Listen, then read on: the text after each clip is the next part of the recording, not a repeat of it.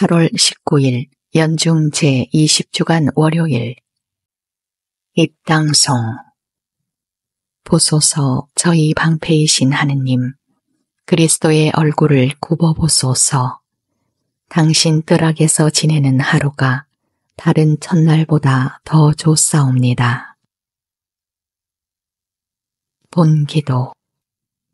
하느님, 하느님을 사랑하는 이들을 위하여 보이지 않는 보화를 마련하셨으니 저희에게 하느님을 사랑하는 마음을 일으키시어 언제나 어디서나 하느님을 오롯이 사랑하여 하느님께서 약속하신 참 행복을 누리게 하소서. 성부와 성령과 함께 천주로서 영원히 살아계시며 다스리시는 성자, 우리 주 예수 그리스도를 통하여 비나이다. 아멘. 제1독서 에제키엘이 너희에게 예표가 되고 그가 한 것처럼 너희도 하게 될 것이다. 에제키엘 예언서 24장 15절에서 24절의 말씀입니다. 주님의 말씀이 나에게 내렸다. 사람의 아들아, 나는 내 눈의 즐거움을 갑작스러운 죽음으로 너에게서 앗아가겠다. 너는 슬퍼하지도 울지도 눈물을 흘리지도 마라. 조용히 탄식하며 죽은 이를 두고 곡을 하지 마라. 머리에 쓰개를 쓰고 발에 신을 신어라. 콧수염을 가리지 말고 사람들이 가져온 빵도 먹지 마라. 이튿날 아침에 내가 백성에게 이 이야기를 해주었는데 저녁에 내 아내가 죽었다. 그 다음 날 아침에 나는 분부를 받은 대로 하였다. 그러자 백성이 나에게 말하였다. 당신이 이렇게 하는 것이 우리에게 무엇을 뜻하는지 일러주지 않겠습니까? 그래서 나는 그들에게 대답하였다. 주님께서 이런 말씀을 나에게 내리셨습니다. 이스라엘 집안에게 말하여라. 주 하느님이 이렇게 말한다. 나 이제 너희의 자랑스러운 힘이고 너희 눈의 즐거움이며 너희 영의 그리움인 나의 성전을 더럽히겠다. 너희가 두고 떠나온 너희 아들, 딸들은 칼에 맞아 쓰러질 것이다. 그런데도 너희는 내가 한 것처럼 하게 될 것이다. 콧수염을 가리지도 못하고 사람들이 가져온 빵을 먹지도 못할 것이다. 머리에는 쓰개를 그대로 쓰고 발에는 신을 그대로 신은 채 슬퍼하지도 울지도 못할 것이다. 너희는 너희 죄 때문에 쓰러져 가면서 서로 바라보며 한탄할 것이다. 에제키엘이 이렇게 너희에게 예표가 되고 그가 한 것처럼 너희도 하게 될 것이다. 이 일이 일어나면 그제야 너희는 내가 주 하느님임을 알게 될 것이다. 주님의 말씀입니다. 하느님 감사합니다. 화랍송 너희는 너희를 낳으신 하느님을 저버렸다. 너희는 너희를 낳으신 바위를 저버리고 너희를 세상에 내신 하느님을 잊어버렸다. 주님은 보시고 분노하시어 당신 아들, 딸들을 물리치셨다. 너희는 너희를 낳으신 하느님을 저버렸다. 주님이 말씀하신다. 나는 그들에게 내 얼굴을 감추고 그들 끝이 어떻게 되는지 두고 보리라. 그들은 타락한 세대, 불충한 자식들이다. 너희는 너희를 낳으신 하느님을 저버렸다. 신도 아닌 것들로 나를 질투하게 하고 헛것들로 나를 분노하게 하였다. 나도 내 백성이 아닌 자들로 그들을 질투하게 하고 어리석은 민족으로 그들을 분노하게 하리라. 너희는 너희를 낳으신 하느님을 저버렸다. 복음 환호송 알렐루야 행복하여라 마음이 가난한 사람들. 하늘나라가 그들의 것이다. 알렐루야. 복음. 내가 완전한 사람이 되려거든 너의 재산을 팔아라. 그러면 내가 하늘에서 보물을 차지하게 될 것이다. 마테오가 전한 거룩한 복음 19장 16절에서 22절입니다.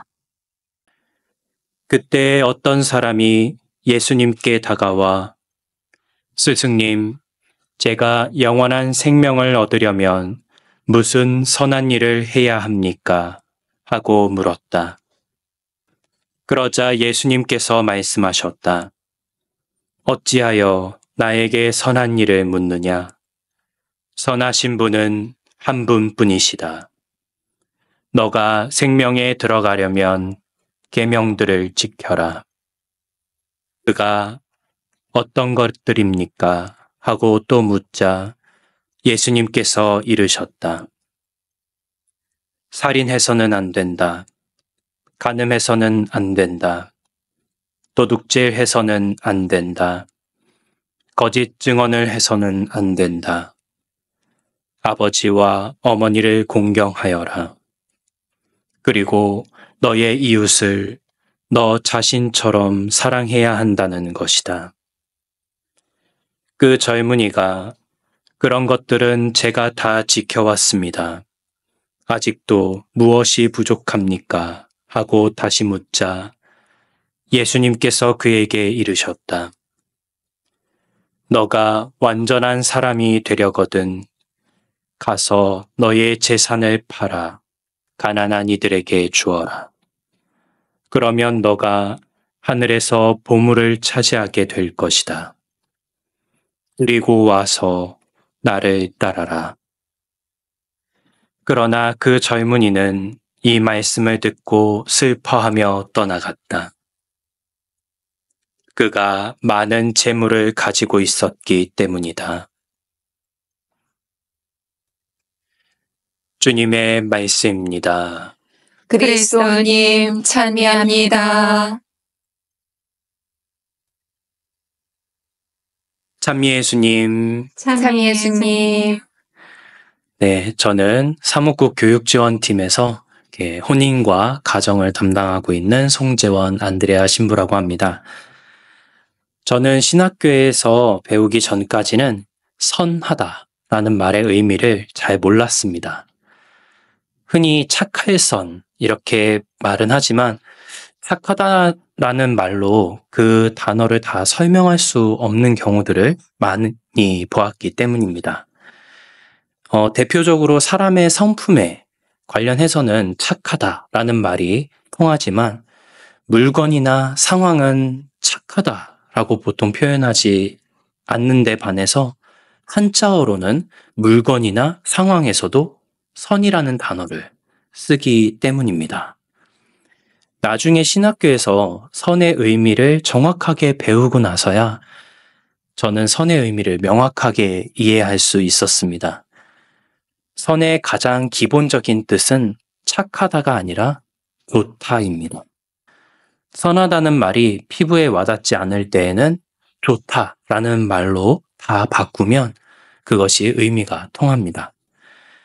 오늘 복음은 선의 기준, 즉, 좋은 것의 기준이 어디에 있는지를 생각해 보게 합니다. 오늘 복음에서 한 부자 청년이 예수님께 찾아와 자신이 영원한 생명에 이르기 위해선 어떤 선한 일, 좋은 일을 해야 하는지를 묻습니다. 예수님은 좋은 것의 기준을 자신이 아니라 하느님께 있다 라는 것을 명확하게 말씀해 주십니다. 좋은 것의 기준이 하느님이 아닌 다른 피조물에 있게 되면 분명 문제가 생깁니다. 자신에게 보통 두는 경우가 많은데 나에게는 좋은 것이 주위 사람들이나 상황과 사건들에는 나쁠 수도 있기 때문입니다. 그래서 예수님은 부자 청년의 질문을 영원한 생명을 얻으려면 하느님 보시기에 좋은 일을 해야 하는 것이라고 예수님께서는 정정을 해주신 뒤에 그에 대한 답은 바로 하느님이 주신 계명을 지키는 것이다. 라고 말씀해 주십니다. 그리고 그 계명은 이웃을 사랑하라는 10계명의 두 번째 부분임을 알려 주십니다. 그 청년이 그 계명을 다 지켰다라고 말을 하자 예수님은 이웃을 사랑하는 가장 좋은 방법을 다시 말씀해 주십니다. 바로 자선입니다.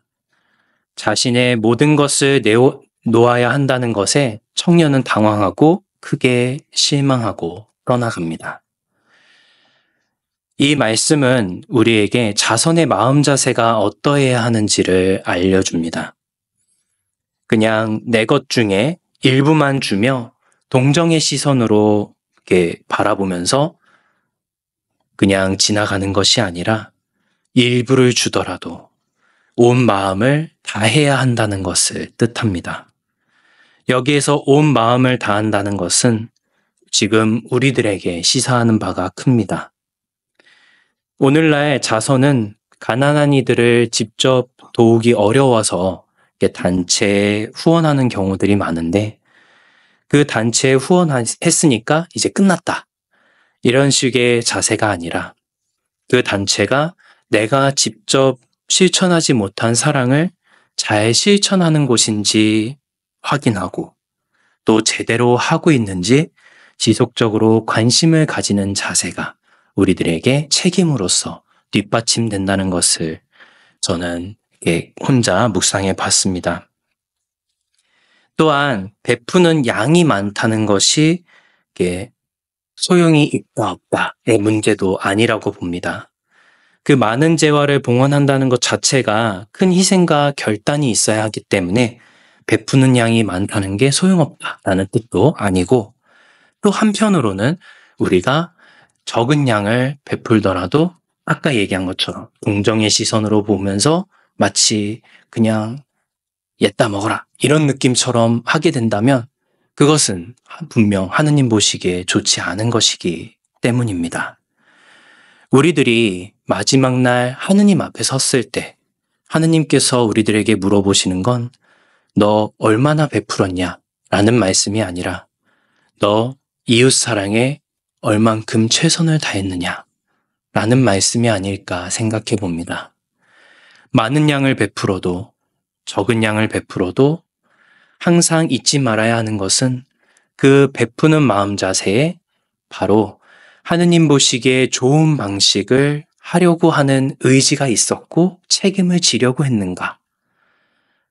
라는 것입니다. 이웃사랑을 우리가 충실하게 마음을 다해 실천할 수 있도록 우리에게 사랑으로 다가오시는 하느님께 은총과 도움을 청해 보았으면 합니다. 너가 완전한 사람이 되려거든 가서 너의 재산을 팔아 가난한 이들에게 주어라. 잠시 묵상하시겠습니다.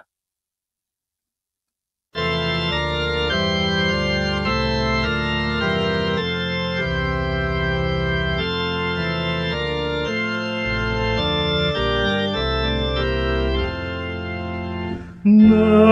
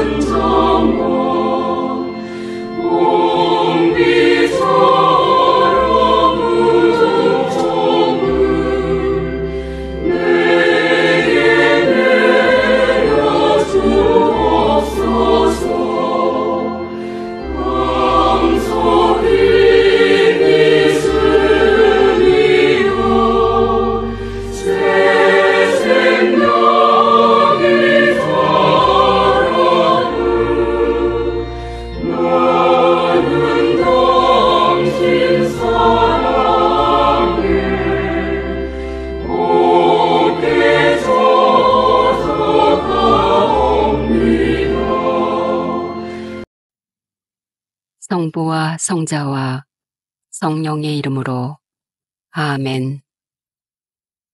유튜브에서 강웅남으로 검색한 후 제 사진을 클릭하면 재생 목록에는 성경과 강남 노래방 영상들이 저장되어 있습니다. 재생 목록에서 시청하여 주세요.